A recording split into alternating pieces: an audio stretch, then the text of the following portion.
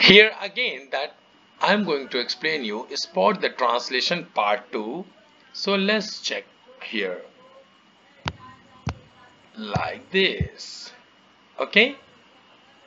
Okay. so here clearly the same process you have to apply that you have to choose one point and then you can see that uh, how this point is shifting so you can see that suppose that one corner you are choosing here. So and this corner is now here.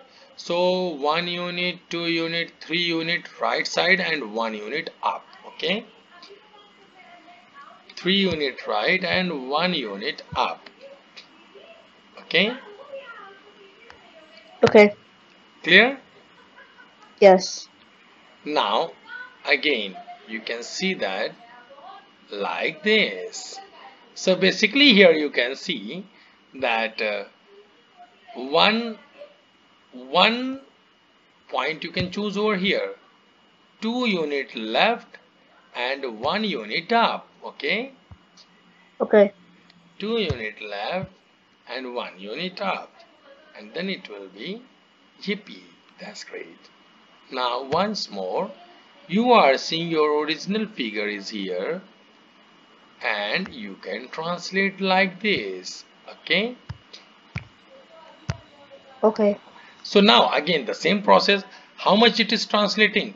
Just choose your one point okay?